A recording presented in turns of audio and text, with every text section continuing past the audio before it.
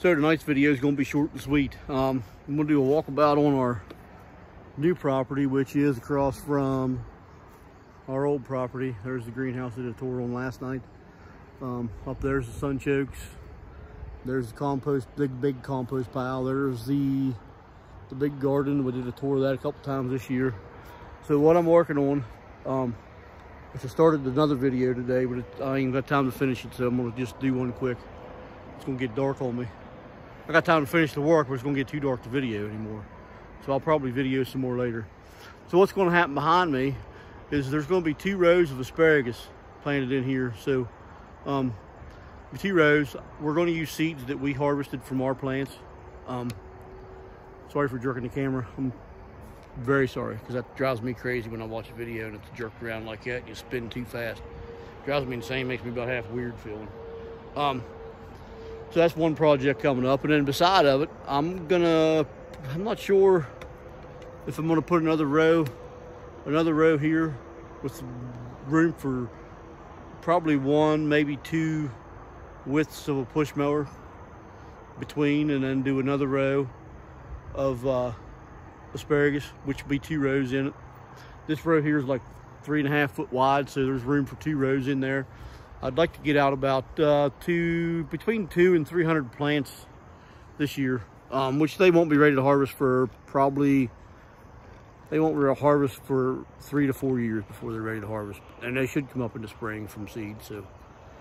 Um, I'm gonna put it, I'm gonna put rhubarb in somewhere. I'm not sure if I'm gonna put it on here or if I'm gonna put it, I may put it over in there somewhere. I'm gonna put over some fruit trees over in there and some berry bushes for sure. Um, I got a bunch of Egyptian walking onions that I want to bring down here. They're gonna come down here. Um, they're actually gonna be in this mound. What this mound is, is, is uh, when I bought this property late spring, which was really late, which we got a pretty good harvest out of the garden that we put in there. But when I put this, I peeled this, I got, I rented a sod cutter and I cut it all the sod out of all that. Um, and I just rolled it down and threw it there. So, and this evening I mowed, I mowed this area here where the compost pile and the cardboard is. I mowed it down real low and I put all the, uh, I put all the clippings right there in a pile. So that's where that is. Um, there's a watermelon. I need to get it harvested. There's one there. It's actually pretty nice watermelon. Um, I got some Egyptian walking onions that I'm to start growing.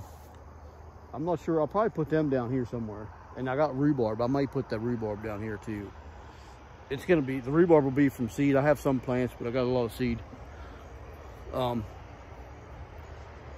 so that's the main thing we're going to work on this, this fall, winter, early spring. I got a bunch of Tahitian squashes and stuff in there that hasn't, isn't ready to harvest yet. And I threw a bunch of wildflower seeds. As you can see, there's a bunch of there's a bunch of uh, um, wild carrots and a bunch of other stuff in there growing. There's wild carrots, there's uh, black-eyed Susans, and there's a uh, mallow plant in there. Uh, you can't quite see it. Let me get a little closer. You can make see it if I get a little closer.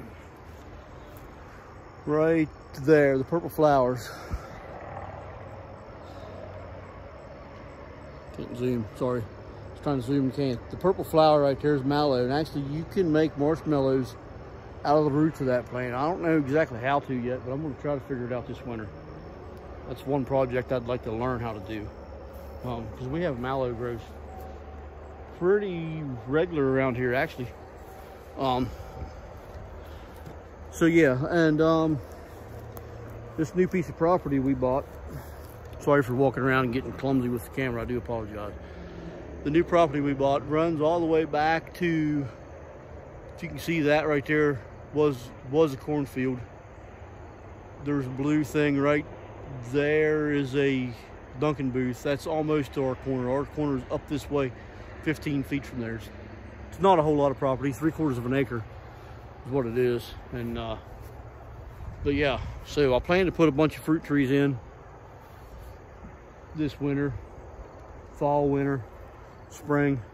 Um, yeah, so that's the plan. And I'd like to make the garden maybe bigger. I'm not sure if I'll make it any, it won't be no wider, maybe longer in this area. I'm not real sure on that too, but I want to put a bunch of corn in and um, cherry tomatoes and corn. Long-term plants will be what's down here. I'm not going to worry. The short, the short crop, flip-flop plants will be in the main garden up there. Um, it's not real far apart. Um, actually, it's not real far apart. Um, there's some more watermelon. There's a, there's a watermelon right there, right there. There's a couple watermelon. There's one there. There's a couple here. There's one up there's another one right. Whoops, sorry, right there. And you can see the all the wildflowers in there. The bees go, go crazy for them. They're loving them this time of year. Had a bunch of seeds. I just threw them out didn't have no use for them.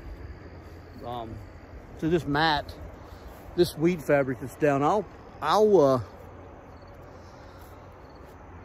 I'll cut it up. I'll take it off so I can put some compost down and I'll fork it in with a, with a, uh, a fork, a, um, probably a pitchfork. I have a, I have a uh, broad fork, but I like the pitchfork better.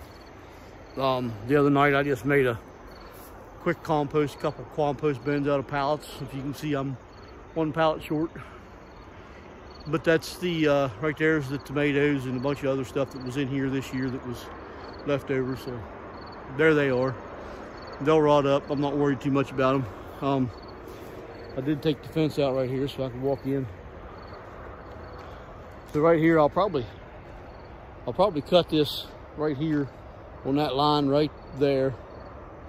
And then I'll put cherry tomatoes in these two rows of holes that row and that row. There'll be cherry tomatoes this this spring coming.